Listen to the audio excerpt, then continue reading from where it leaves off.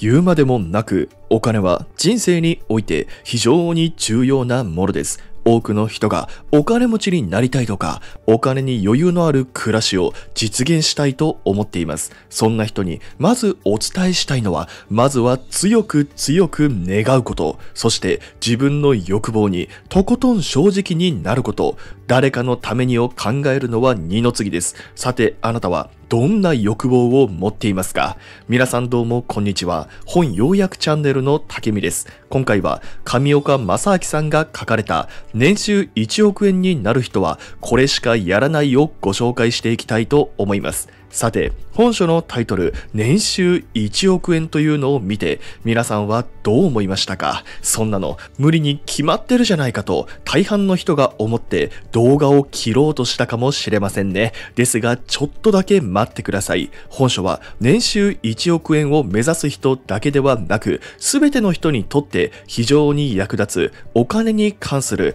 大切な知識が詰め込まれております。たとえあなたに今お金がなかったとしても本書に書かれているお金持ちの行動パターンや習慣を真似してお金持ちの考え方をインプットすることで確実に今よりも経済的に余裕のある状態を実現できると思うんです。著者の上岡さんは MBA 保有の経営者であり、今でこそ年収1億円を達成していらっしゃいますが、著者は自分のことを目の前のことから逃げていた落ちこぼれであったと述べています。著者は生まれてすぐ母親を失い、中学校の頃には家出を繰り返し、大学受験にも失敗、どこか冷めたような努力を軽んじるようなタイプで、能力がない自分が成功するなんて絶対に無理だと昔は考えていたそうです。社会人になってもそれは変わらず、相変わらず努力を軽んじる典型的な落ちこぼれタイプ、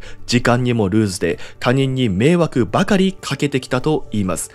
そんな著者が今では年収1億円を稼ぐ経営者になれたのは一体どんな秘密があるのでしょうか？それではこれからその秘密を解き明かすとともに約1000人の一流経営者や実業家、スポーツマンたちの行動を分析し誰もが年収1億円、お金持ち、お金に余裕のある暮らしを目指すことができる著者が導き出した脳科学的に正しい成功の法則をご説明していきましょう。それでは早速本書の内容で一緒にお勉強していきましょう。本日のお品書きは次の通りです。一元でお金持ちをとことん真似るだけ、脳科学的に正しいお金持ちになる絶対法則について、二元で永久保存版、コツコツ実践するだけで誰でもお金持ちになれる神ルール5選について解説していきます。それでは早速一元のお金持ちをとことん真似るだけ、脳科学的に正しいお金持ちになる絶対法則から解説していきたいと思います。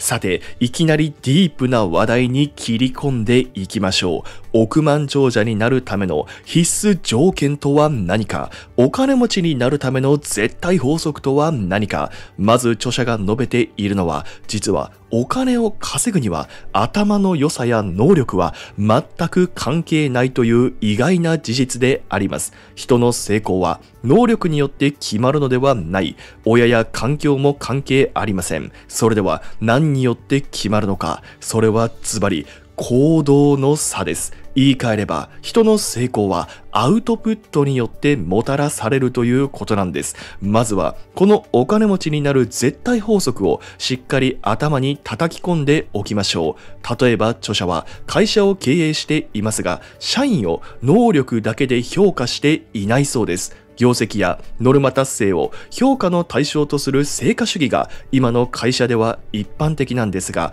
著者を含め成功を手にした経営者は失敗も含めて行動をきちんと評価するんです。著者の手帳の最初のページには一つの信念が書かれています。それは次のような信念です。可能性は無限大。行動を続けることで今日より明日はもっと良くなる。この信念に従って行動を続けたことで落ちこぼれだった著者は一気に成功者の道を駆け上がることができたんです。著者がこれまで出会ってきた年収1億円を稼ぐ成功者やいくつもの会社を経営するビジネスオーナーには貧しい家庭の出身であったり学歴がなくそのギャップやハンデを乗り越えてきた人が大勢いたそうです。一方で一流の大学を出て優れたスキルを持っている人でも能力を発揮できずくすぶっている人もいたんです。ではその差は一体どこにあるのか。その本質を突き止めるために著者は会社を経営しながら大学院で情報学を学ばれたそうです神経脳科学を専門とし学会などで研究を行いながらその答えを探し続けたんです。そして脳と成功の法則について散々調べ上げた結果分かったことがありました。それはズバリ全ては行動にあるということ。これまで著者が会ってきたお金持ちや圧倒的な成功者に共通しているものは凄まじいまでの行動力だったんです。これを聞いている皆さんの中には自分は頭が悪いからとか勉強ができないからとか学歴がないからと花からお金を稼ぐということそしてお金に余裕のある暮らしを実現することを諦めている人はいませんか？ですが持って生まれた能力だけがその人の成功を決めるわけではありません。能力以上に私たちの人生を決めるのはやはり行動なんです。行動することによってお金に余裕のある暮らしを実現することは誰だって十分に可能なんです。このように言うと行動が大事なんてそんなこともう知ってるよと思われた人いるかもしれません。では、そんな人にお尋ねしましょう。これまでの自分の人生を振り返り、あなたはこれまで行動してきたと胸を張って言えるでしょうか？もしかしたら、あなたは行動した気になっているだけではないでしょうか？そんなあなたにぜひともお伝えしたい行動し続けるバカになれとお金持ちになりたいとかもっとお金に余裕のある暮らしを実現したいのであれば行動し続けるバカになれと老後の資金が足りるだろうかそういった将来の不安を解消したいのであれば、その不安を解消する唯一の方法は、行動し続けるバカになることなんです。私たちは様々な将来に対する不安、そしてあらゆる悩みに日々支配されております。そういった重たい鎖から解放されて、楽に人生を歩んでいきたい、自分の人生を自分でコントロールしたいと思っているのであれば、行動し続けるバカになりましょう。迷いを消して、曇天の人生を変えて道を切り開くには行動しかないんです。そしてこの行動するということの重要性は特に今の現代において高まっているということをぜひとも覚えておきましょう。確かにインターネットが出てくる前は特定の人間だけが1000倍特許で情報を独占していた時代でした。ですから、美味しい情報というのが結構世の中にはあったわけですが、ネットが出てきてしまったらもう誰もがあらゆる知識を自由にただ同然でアクセスできるようになり、情報そのものにそんなに価値はなくなってしまったんです。このような時代において差がつくのは情報ではなく、もはや行動以外にありません。行動できないこと、それこそが全ての人にとってのボトルネックとなっているんです。ただし、あなたが行動を始めると、最初は周りの人に笑われてしまうでしょう。あいつは変わっているとか、バカなんじゃないのと笑われてしまう可能性があります。ですが、そんなの気にする必要はありません。周りの目を気にして行動を止めないでください。人からバカと言われているぐらいがちょうどいいんです。なぜならそれはあなたが行動を続けている何よりの証拠だからです。そして人の目を気にせず行動を続けているとやがて強靭なメンタルがあなたに備わってきます。何者にも動じないメンタルが身につくことによって周囲から一目置かれ始めあなたはさらに有利なポジションに立つことができます。逆に口ばっかり達者で実際行動をしていない人の周りからはいつしか人や運は離れていきます。またこれを聞いている皆さんは健康に関してももかなり気を使っていらっしゃる方が多いと思います。老化したくないと思っている人結構多いでしょう。そんな人こそぜひ行動を続けていただきたいと思うんです。行動や好奇心というものがなくなってしまうと人は急速に追い始めてしまうということが最先端の脳の研究で明らかになっているからです。行動や好奇心がなくなってしまうと新しいことに挑戦するエネルギーを生み出す必要がなくなりますよね。その結果脳から全身によしよしとお前はもうよく頑張ったよとここからは現状維持で行こうという指令が行き渡るようになるんです。すると細胞の中のエネルギーを作り出す工場であるミトコンドリアがエネルギーを使わない節約モードに切り替わってしまい老いが始まってしまうとというわけです。いくら年齢が若くても、これは同じです。行動している人、好奇心を持っている人、挑戦している人って何歳になっても若々しく見えますよね。それは科学的に正しいということなんです。さて、ここまでで成功者と凡人を分かつ者は行動の差であると、そして行動こそが不安を消したり、老化を食い止める上で重要であるということを熱く申し上げてきました。そして世の中には行動力を高めたいとか自分を変えたいという人に向けた本がたくさん存在しております。そこにはすぐにやる気になる方法とか習慣化のメソッドなどが書かれておりますが、それだけではいけないと著者は述べています。圧倒的に何かが足りないんです。これまで行動できなかった人が日常を変えたり、無気力の人がやる気になるためには、もっと根本から覆すエネルギーが必要なんです。ではそのエネルギーとは一体何か？それはズバリあなたの欲望です。自分の欲望にとことん正直になることです。行動した先に得たいものを見つけることこそお金持ちになるため、お金に余裕のある暮らしを実現するための最短ルートなんです。ここでしっかりと皆さん自分のことを振り返ってみてください。あなたはどんな欲望を持っているでしょうか？著者は様々な年代の人からお金持ちになりたいがどうすればいいのか、成功するためには何が必要なのかという質問をよく受けるそうなんですが、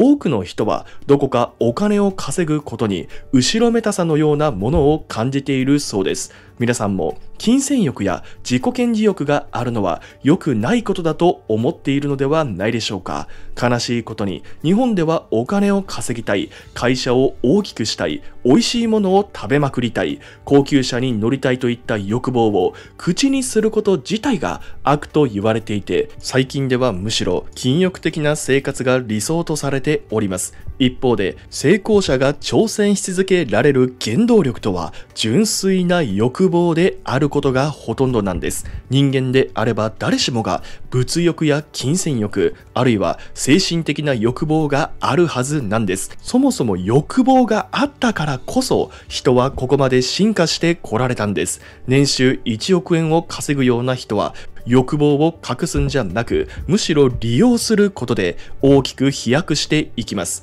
欲望は私たちの行動の原動力となります。欲望は私たちに目標を設定しそれに向かって行動を続けるための強力なモチベーションを与えてくれるんです。また成功したりお金に余裕のある暮らしを実現するためには起業をしたり投資をしたりとしばしばリスクを取ることも必要になってくるでしょう。欲望が強ければ強いほどリスクを取る勇気を持つことができます。またお金に余裕のある暮らしを実現したいと思ったら粘り強さや忍耐力も必要となってくるでしょう。あなたにどうしても実現したい欲望があれば粘り強さや忍耐力が生まれてきます。ですから自分の欲望に馬鹿正直になっていただきたいんです。自分はどんな欲望を持っているのか改めて考えてみましょう。お金に余裕のある暮らしを実現できたとしたら皆さんは何がしたいでしょうか？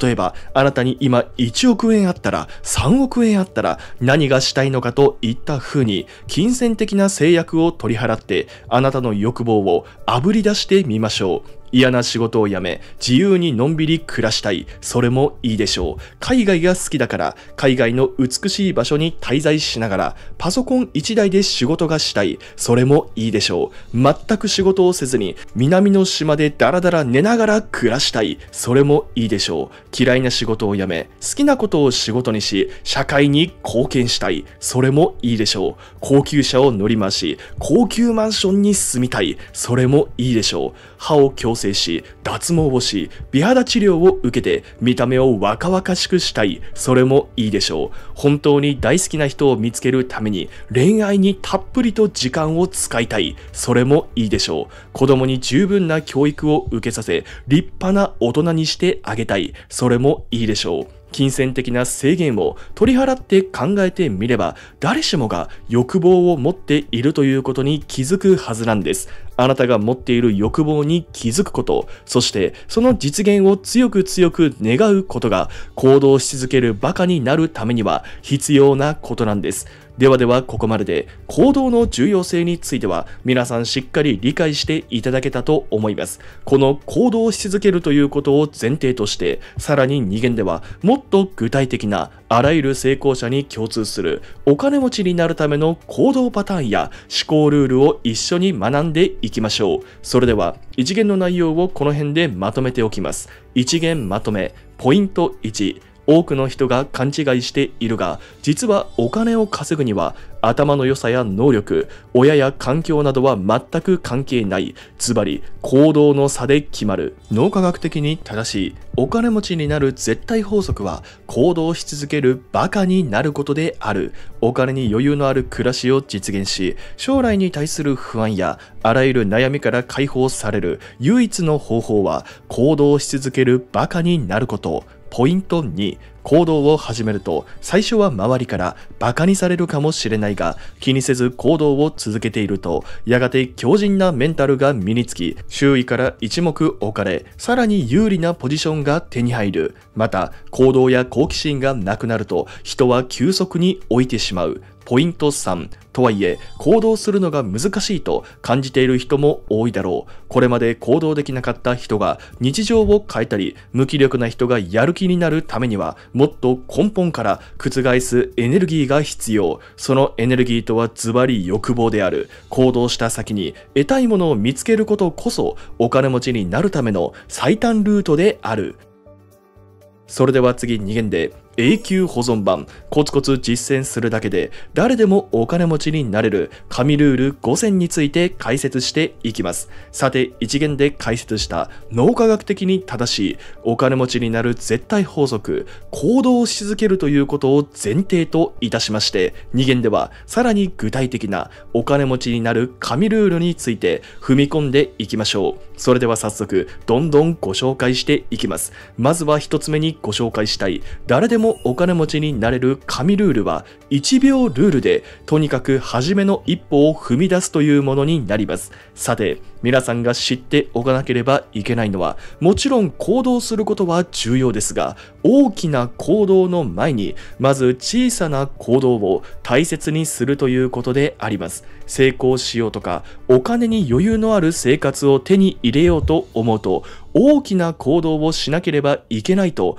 思ってしまう人も多いかもしれませんが宝くじにでも当たらない限りわずか数日程度で私たちはお金持ちになることは絶対できません真の成功は最初の一歩をとにかく踏み出すことから始まるんです小さな成功を積み重ねることができれば経験や習慣が手に入り成功に近づくことができますそのためにはあなたの目標を細分化し、今日明日に確実にできる行動レベルにまで落とし込む必要があります。そして設定した行動を習慣化するまでひたすら繰り返すんです。どんなことでも構いません。朝起きたら10分だけ自分の目標のために時間を使うとか、毎日5分でもいいから副業に時間を使うとか、目標を書いた手帳を毎朝声に出して読むなど、どんなことでも OK です。毎日続けることで、成果よりも先に自信が生まれます。自分は続けることができるという自信が生まれ、成功につながるんです。とはいえ、なかなか毎日継続することができないとか、やろうと思ってもやる気が出てこないという方もいらっしゃるでしょう。そんな人のために有名なテクニックとして5秒ルールというものがあります。5秒ルールとは行動しようと思ったらすぐに5、4、3、2、1と口に出してカウントダウンします。そして0になるまでに必ず行動に移すという極めてシンプルなルールになります。そして一旦行動してしまえばドーパミンが出ますからそのまま行動を続けることができさらにカウントダウンが一種の自己催眠のような暗示となりますからこの5秒ルールは脳科学的にも非常に有効な行動するためのテクニックになります部屋を掃除しようと思ったがめんどくさいなと思ったらすぐさま54321とカウントしてみる。お金の勉強を始めようとしたがなんだかモチベーションが湧かないと思ったらすぐさま54321とカウントダウンを始める。こうすることで私たちは圧倒的に行動しやすくなりますそしてこれを著者流にアレンジした1秒ルールもぜひとも活用してほしいです。やり方はとても簡単で、両手でパチンと叩いてよしやるぞと声に出すだけであります。私たちはやる気が出るから行動するのではありません。行動するからやる気が出るんです。ですからパチンと手を叩いて脳の行動を喚起して意識を引きつけけると同時に声に出すことでその取っかかりを一瞬で作ってしまうというわけです。手を叩くのも声を出すのも立派な行動ですからそれがスイッチとなりやる気がもたらされます。そして小さくても行動さえできれば脳の側座角が刺激されその後にドーパミンが分泌されますその結果行動を続けることができるんですそして両手でパチンと叩いてよしやるぞと声を出すことに加えて両手をパチンと手で叩きエネルギーが充電される言葉を口にするというのも良いでしょう。例えば両手でパチンと叩いて大好きな人の名前や幸せにしたい人の名前を声に出すというのも良いでしょう。お金持ちになるなどという目標を口に出していただくのでも良いでしょう。ぜひ自分なりの元気が出る言葉を選んで1秒ルールに活用してみてください。慣れてくれば1秒ルールがきっかけとなり脳が呼び覚まされやる気がなくたって意思とは関係なく行動することができるようになります。こうなったらもう最強です。さて、それではここまでで一つ目の誰でもお金持ちになれる神ルール、1秒ルールでとにかく初めの一歩を踏み出すについての解説を終わりにし、次に行きます。それでは次2つ目の誰でもお金持ちになれる神ルール思考停止ムーブについて解説していきます。さてこれを聞いている人の中にも日によってモチベーションの差が激しいという人いらっしゃるでしょう。モチベーションが高い日は頑張れるんですがモチベーションが低い日は頑張れないんですと悩んでいる人もいるでしょう。あるいはビジネス書を読んだり、セミナーに参加して、一時的にモチベーションは上がるものの、翌日にはすぐにモチベーションが低下してしまうという悩みを持っている人もいるでしょう。そんな人におすすめなのが、思考停止ムーブになります。思考停止ムーブは、まず思考停止でやってみる、やってみてから考えるというものになります。繰り返しますが、行動することでしかお金に余裕のある暮らしを実現することは絶対にできません。成功を手にすることもできません。成功者の特徴の一つに必ず挙げられるのが着手までの速さであります。何かをやろうとするとき、私たちはあれこれと考えてしまいますが、まずは思考停止でやってみる。頭の中でいろんな考えが浮かんでくると思いますが、それらを一旦すべて捨てて思考停止でやる。この思考停止ムーブを徹底すれば、初動を爆発的に早めることができます。そして、おそらく多くの人が行動できない理由は、質を求めすぎてしまうということが大きな原因だと思います。何かをやろうとしても、まだ準備が整っていないからとか、もう少しリサーチしてから始めようなどと、とにかくいきなり質を求めすぎてしまうんです。でもこれだと行動が遅れてしまいます。確かに一般的に質が重要であるとよく言われていますが、量とスピードも同じくらい大切にするべきであると著者は述べています。いや、むしろ質より量を優先し、とにかく着手するということが成功を加速させるコツであります。質だけを追求していると、物事をうまく進めようと慎重さばかりが優先され、結果として行動が大きく遅れてしまいます。繰り返しますが、最初の一歩をとにかく踏み出すということが何よりも重要であります。質が悪かったらどうしようとか、失敗したらどうしようなどと考えてしまうと、あなたの脳はプレッシャーに負けて臆病で消極的な判断をしてしまいます。その結果、行動そのものを萎縮させてしまいます。そして年収1億円を達成する人はとことんスピードにもこだわっているんです。スピードばかり優先すると仕事が雑になってしまうとかクオリティが落ちてしまうと心配する人もいるかもしれませんがその結果インプットばかりしてアウトプットの量が減っている人が非常に多いと言えます。そこでインプット1に対しアウトプット9を意識してみてください。一つの知識を取り入れたら、それをすぐさま実行する。完璧な知識を求めず、今ある知識でできそうなことをとにかく行動に移す。こうすることによって行動のスピードを爆上げすることができます。さて、それではここまでで2つ目の誰でもお金持ちになれる神ルール、思考停止ムーブについての解説を終わりにし、次に行きます。それでは次3つ目の誰でもお金持ちになれる神ルール、うまくいっている人の丸パクリからスタートするについて解説していきます。さて、ここまで聞いて5秒ルール、1秒ルール、思考停止ムーブなどを活用し、とにかく行動するスピードを上げることが重要だというのは分かったよと。でも、何から行動したらいいのか分かりませんと悩んでいる方、結構多いのではないでしょうか。お金持ちになりたい、お金に余裕のある暮らしを実現したいと思っているものの、一体何から始めればいいんですかと、そんな風に悩んでいる人には、成功者の丸パクリからスタートするということをお勧勧めいたします。世の中には、すでにうまくいっている事例や成功している方法というのがありますよね。こういったものをさっさとパクっちゃって、最初の一歩目をとにかく早く踏み出すということが、結果を出すためのめちゃくちゃ重要要なコツであります。3日間、ホテルにこもってでもいいから、オリジナリティを生み出せというのは、スポーツで言うところの精神論でしかありません。精神論を大事にするのは、まあ個人の自由でしょうが、最最先端のテクノロジーを駆使して行動している人に、今後ますます差をつけられてしまうばかりです。孫正義やスティーブ・ジョブズのような偉大な発明家であっても、最初は誰かの真似事からスタートしているんです。誰かの真似事でいいから、とにかくスタートすることが重要。なぜならば、現実には99%の人が最初の行動すらできず、人生を終えてしまうからであります。ここを突破しなければ、そもそもオリジナリティの追求のしようがありません。行動できる人、それらを継続のレベルに落とし込める人は、たった1%しかいません。その1%が成功の果実をもぎ取ることができます。ですからまずは真似でも何でもいいから行動し、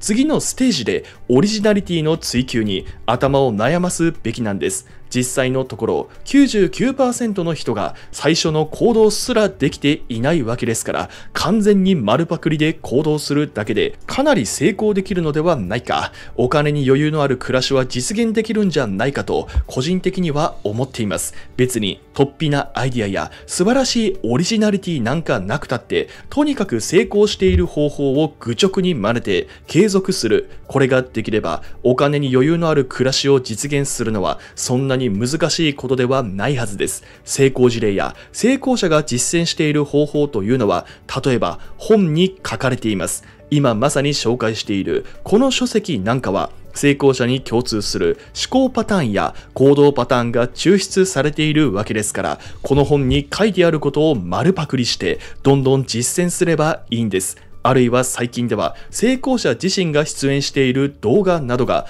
YouTube にたくさん存在しておりますから、こういったものを活用するのも良いでしょう。便利な時代になりました。私たちは世界的な成功者から直接アドバイスを受けられるような時代になったんです。さて、それではここまでで3つ目の誰でもお金持ちになれる神ルール、うまくいっている人の丸パクリからスタートするについての解説を終わりにし、次に行きます。それでは次4つ目の誰でもお金持ちになれる神ルール、なるべく早い時期に負ける経験をしておくについて解説していきます。さて、ここではっきりと申し上げておきますが、世の中の大半の人は成功は時間差でやってくるということを理解できていないんです。その結果、ちょっとやって成果が出なかったら、ああ、もうダメだと言って、すぐにやめてしまうという羽目になるんです。ですが、奥を手にする人は、成功は時間差でやってくるということを知っているんです。今やっている苦労も時間差で、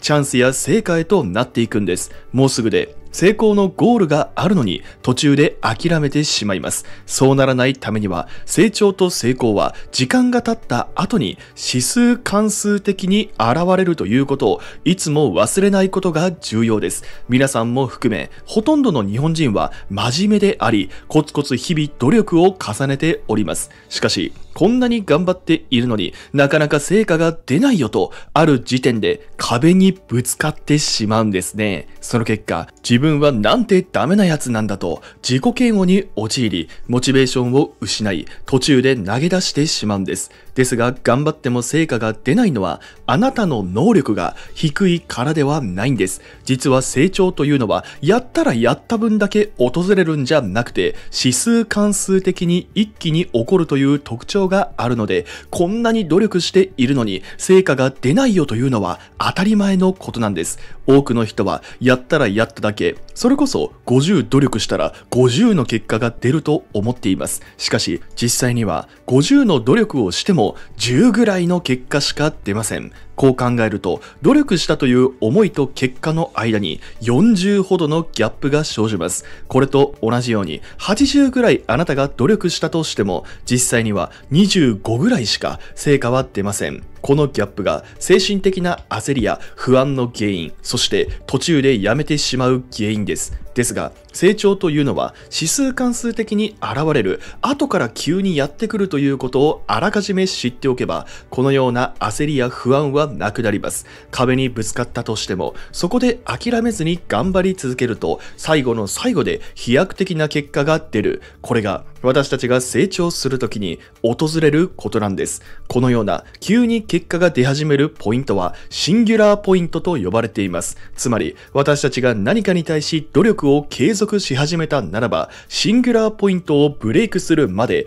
やり続けないと意味がないんです。ですが90%以上の人はこのことを知らずシンギュラーポイントを超える前にやめてしまうんです。あと少し頑張ればシンギュラーポイントに達しいきなりドーンと10倍以上の成果が出るんだからここで諦めてしまうのは非常にもったいないことと言えるんです。またこのことをしっかりと心の底から理解しておくためにはなるべく早い時期に負ける経験をしておくのが重要であると著者は述べています。絶対に負けたくない失敗が怖いと今思っている人こそぜひしっかり聞いてください。著者は20代に本当にたくさんの失敗をしてきました。母親を亡くし、父親一人に育てられ、大学受験も失敗。社会人1年目から毎日のように叱られ、先輩たちからも罵声を浴びせられる毎日。そして27歳で起業した後も何度も倒産しそうになりました。しかし、このようにたくさんの失敗をしたおかげで、成功は後からやってくるということを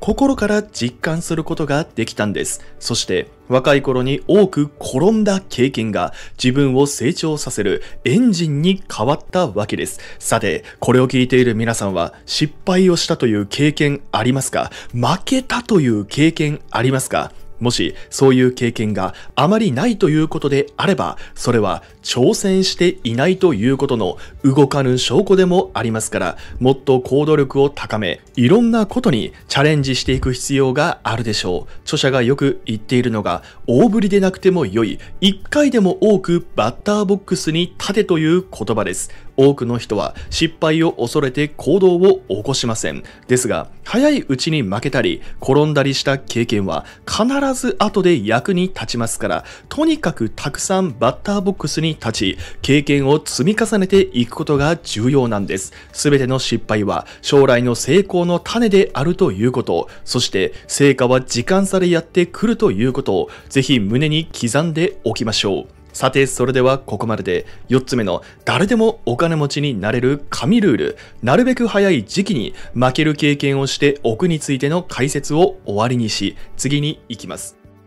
それでは次5つ目の誰でもお金持ちになれる神ルール、お金の不安を消すために、とにかくお金の勉強をやめないについて解説していきます。さて、必ず成功する人、年収1億円を手にする人だけが持っているお金の知識が存在していると著者は述べています。彼らに共通しているのはお金に対する不安がないこと、不安にとらわれていないため、お金の貯め方、稼ぎ方、そして増やし方を知っているんです。お金の不安から解放されれば、目の前の行動に人気リソースを注ぎ、私たちは全集中することができます。そして、お金に対する不安をなくすには当たり前のことなんですが、支出が収入を上回らないようにするということがもうめちゃくちゃ重要です。いくら高収入であっても、それと同じだけの支出があったら、結局はマイナスになってしまいますし、お金にある暮らしを永遠に実現することはできません。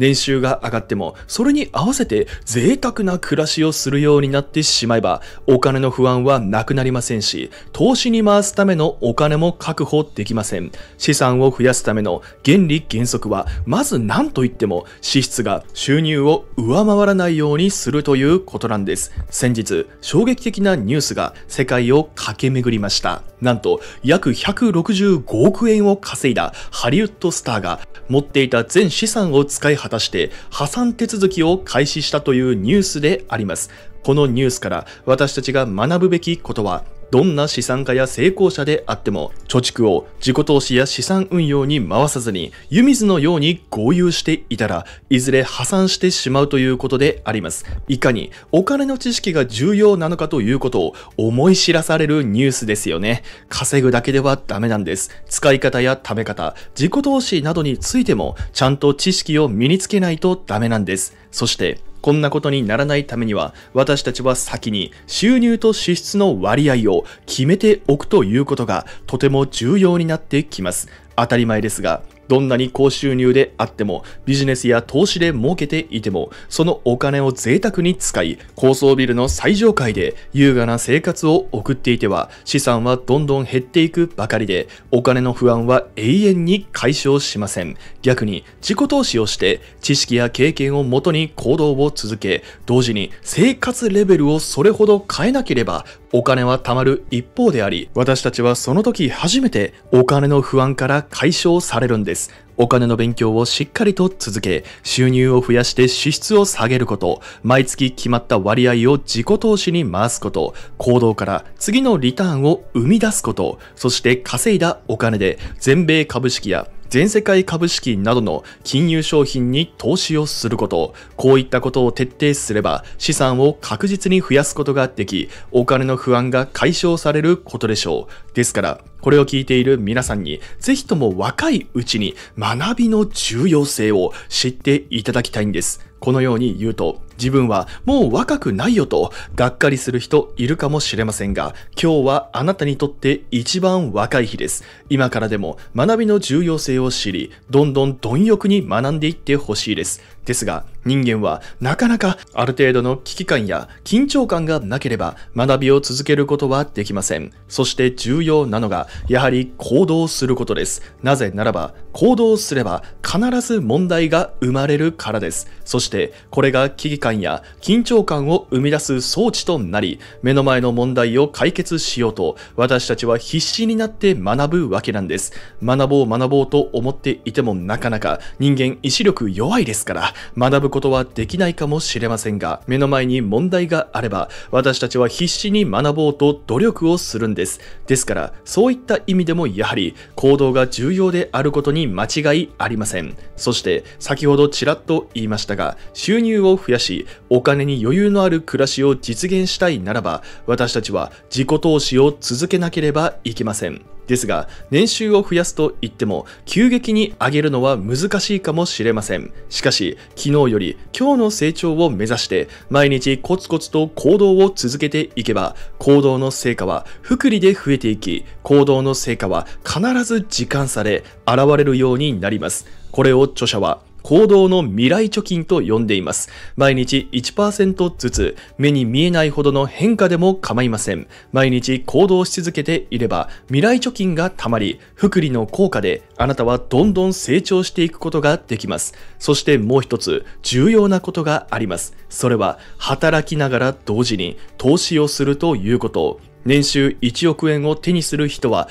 労働から得られる収入と資産から得られる収入を同時に増やしています。この2つのエンジンでお金を増やす行動を続けるんです。金持ち父さん、貧乏父さんという本がヒットしたことで一つ大きなデメリットが生まれています。それは労働に対する軽視です。最近は労働を軽視する発言やメディアのミスリードなどが増えてきていて、さらに昨今のできるだけ早く金を貯めて仕事を辞めたいというファイヤーブームなどからもわかる通り、労働を軽視する人や働きたくないと思っている人が増えているように思います。しかし、著者がこれまで出会ってきた成功者や堅実な富裕層のほとんどは同時に勤勉な労働者です。また、労働とはお金を稼ぐことに加え、多くの学びを得られる自己投資の一つであり、かけがえのない成長の源泉となっているので、人生から排除する対象ではありません。私たちは労働に対する軽視をやめて、労働で得た収入をしっかりと自己投資や金融投資に当てて、2つのエンジンでお金を増やしていくことが必要なんです。それでは、この辺で2限の内容をまとめておきます。2限では、誰でもお金持ちになれる神ルールを5つご紹介しました。ルールの1つ目は、1秒ルールで、とにかく初めの一歩を踏み出すというもの。ルールの2つ目は、思考停止ムーブ。ルールの3つ目は、うまくいっている人の丸パクリからスタートする。ルールの4つ目は、なるべく早い時期に負ける経験をしておく。ルールの5つ目は、お金の不安を消すために、とにかくお金の勉強をやめないというものでした。本日は以上です。この動画が良かったら、高評価ボタンとチャンネル登録どうぞよろしくお願いします。また他にも役立つチャンネルをやっておりますので、概要欄のリンクからチェックしてみてください。今画面に出ている最新動画、おすすめ動画もチェックしてみてください。本日はご清聴ありがとうございました。